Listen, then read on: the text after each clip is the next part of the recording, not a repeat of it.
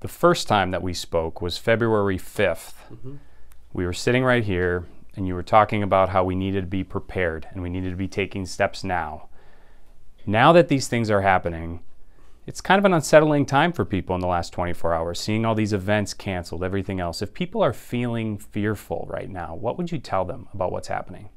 People tend to be reacting to the day. What we need them to start doing is beginning to think about reacting to the next six months. And that actually, in many cases, gets people to take a step back from this immediate moment and starts thinking in the bigger picture. You know, what are we going to do? How are we going to get through? What are the issues?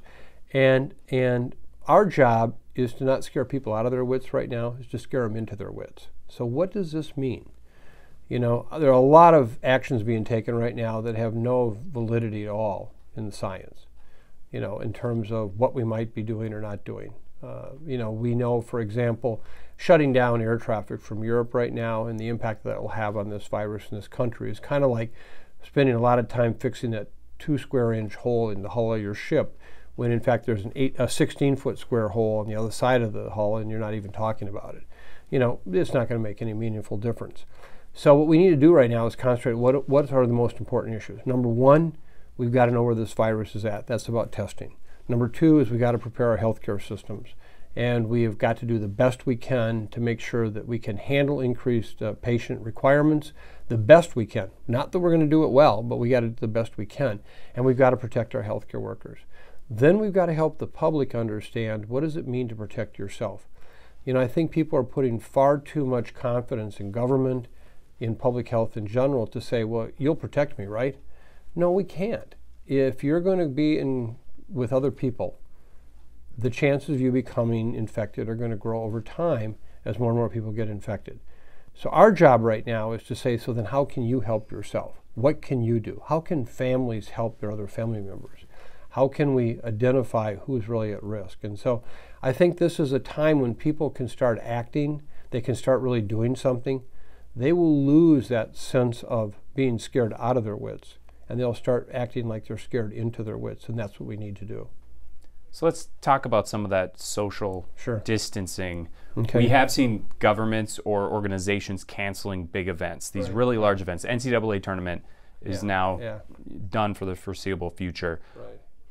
What do you think of that, that strategy? We do recognize that the more contact somebody has with others, the greater the likelihood they're going to get infected. But you know, anybody that tries to present to you a science that says this is the magic number, it's not. I can tell you that being with two people is worse than being with one. The bottom line is, is we don't know what the number of people are that makes the likelihood of you becoming infected much higher.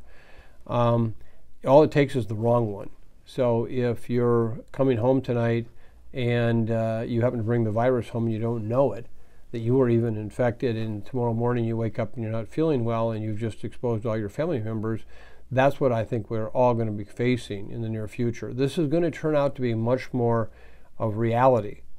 So, having said that, what are those interactions like that are risky to you? I mean, we've talked a lot about moderate risk, low risk, yeah. passing someone in a hall versus speaking face to face.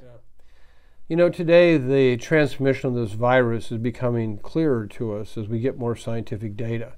And one of the things that is clear is that this is transmitted via breathing.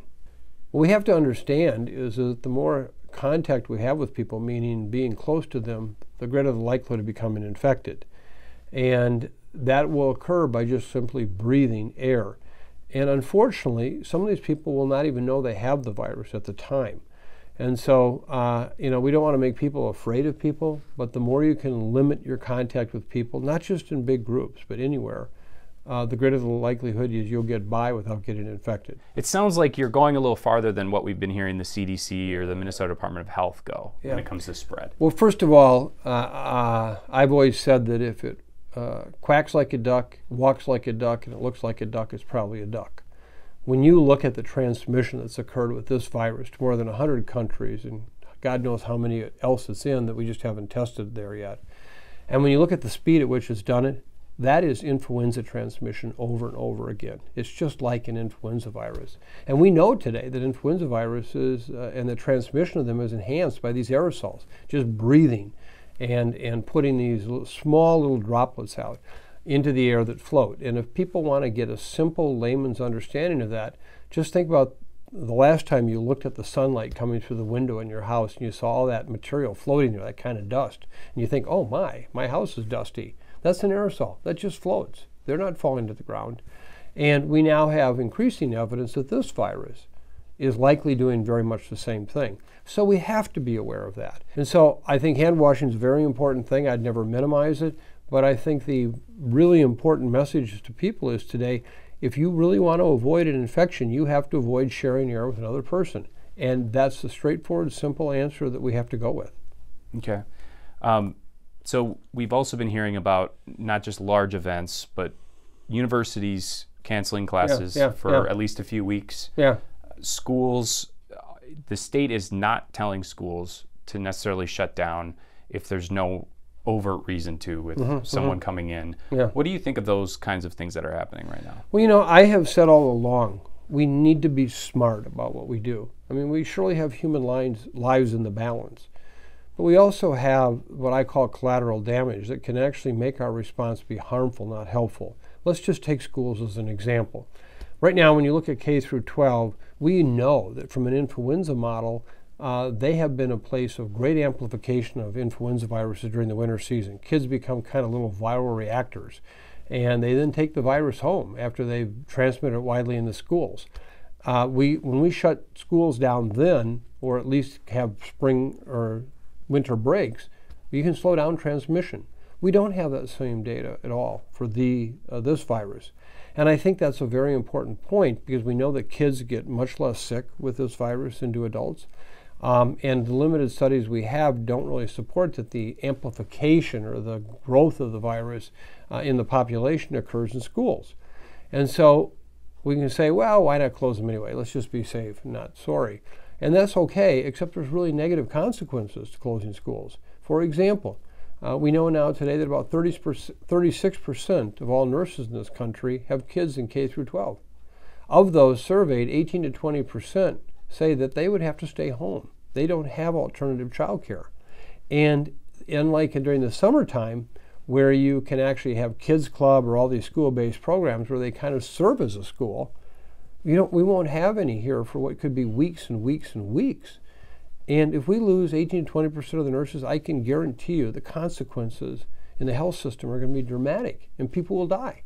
I think what you're kind of getting at is one of the things that has really been catching on in a good way in recent days, which is the flatten the curve type of way of thinking, right? Yep, and this yeah, is something that you uh, you've been talking about this issue for a long I time, have, right? Yep, I have. Going past capacity of what our healthcare Yep. system can do. Yep. So, what are those things right now that will help us get there? Well, I, I come at it from two fronts. One is I want to do everything I can to help strengthen the healthcare system. Uh, what can we do for planning to look at excess number of cases coming in? Uh, what can we do to make sure we have as much protective equipment for healthcare workers?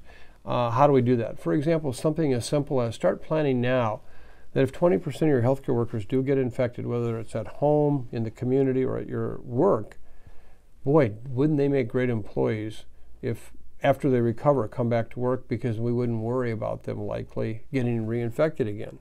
And so something as simple as that. I also think that it's really important that in terms of trying to lessen the load in healthcare, we do everything we can, particularly with the severe cases, to make sure they don't get infected. So I would very much support if uh, a family decides the way they're going to support their mother, grandmother, grandfather, the, the lady that lives across the street, is help them not have to go out. Whether it goes and buys them groceries, and even to the extent that they just leave them at the front door so that uh, you know they don't have to have contact. Those are the people that won't get infected. And this is what we talked about several weeks ago was the fact that what can we do as a community now to start talking about this with your families? How are you going to take care of each other? And what are you going to do? That by itself would help keep a number of older people out of the hospital. We've seen some uh, hospital systems start to get their own testing. Yeah. Some have gone to drive up testing now. Yep. How important is that considering we just heard uh, the federal government say and admit we're failing on the testing front yeah, right now. Yeah. Well, you know, as the old famous uh, line goes, location, location, location for real estate, testing, testing, testing for coronavirus 19. We need much more extensive availability of testing so we can understand where this virus is at, where it's going, uh, where we need to next prepare for what might be a major healthcare system attack by this virus. And until we have that testing, we're flying by the seat of our pants. And so I would really urge that that uh, we continue to support increased testing. I think in the next several weeks, between the private sector's increased participation, hopefully improvement in the federal government's uh, response, we're going to see that. And I think we're going to have a very different picture of what's going on right here in Minnesota with that additional testing. Is there any reason to believe that testing is effective before people are symptomatic and already spreading yeah. it? testing likely is effective at least a day or two before symptoms occur because we now know that people have very high virus loads right in the onset of their first symptom. And so remember, this test is picking up basically the genetics of the virus in the body.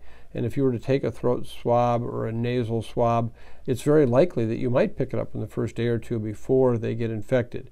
Now, it's not going to be a routine kind of testing issue because you'd have to test somebody every day to know that, oh my, they're coming down with illness. Uh, but in fact, knowing what percentage of the population is infected or has been infected will be important. There's a second kind of test that we need badly. It's called the serology test. It's an antibody that you test with blood to find out, well, maybe you were infected already. Maybe you already have had it and didn't know it. And that will also be very helpful to understanding and estimating the burden of illness that's in our communities is to just understand how many people have already had an infection that they weren't even sure that's what it was. We've heard time and time again the most important thing that you can do yes. is stay home if you're sick. Yes. But based on what we know about how this spreads, how soon do people have to start thinking about staying home? Well, I think clearly, and if you wake up one morning and you have a headache, a cough, you should stay home that day. Uh, some people will start to have some symptoms, uh, you know, the previous day that they should probably think about, hmm, I'm not feeling that way. I have a headache, kind of tired. Boy, I should make sure by tomorrow I need to determine am I going to go to work or not. So I think the more uh, we can look at the early symptoms and at least temporarily respond to those and say, I'm not going to go out or I'm going to stay away from other people until I know, that'll be helpful. I think the last thing I would ask yeah, is yeah. people want to know what they can do to help. Yeah. And what would you tell people at this point? Because there it looks like there's going to be needs across the community yeah, uh, yeah. with loved ones, with you right, know right. everything. So what should people try to be thinking about if they want to help?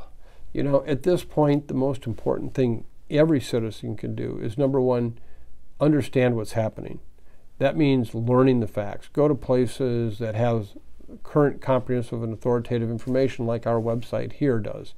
Number two is they need to think about how they're going to help take care of people. That's not just with infection, but how they can help people from becoming infected. What are your family plans to take care of those who are at highest risk of having adverse outcomes? Older, uh, people with underlying health conditions. Have neighborhood watches, in a sense, a, a COVID 19 watch group that says, you know, I've got this person and this person, and this person, all who are vulnerable, who are frail. Uh, what can we do now to help keep them independent and to make sure we check on them every day? So if they do get sick, we can get them at least into health care as soon as possible. You know, if I had to say anything, just start taking care of each other. You know, that sounds like a, a really simple thing for what is a scientific challenge, but it is the answer. Uh, you know, you're not going to invent a new vaccine. You're not going to help find a new antiviral drug, but you can do a lot by taking care of each other.